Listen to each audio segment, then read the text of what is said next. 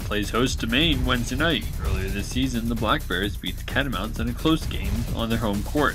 Vermont looks for revenge when Maine comes to town.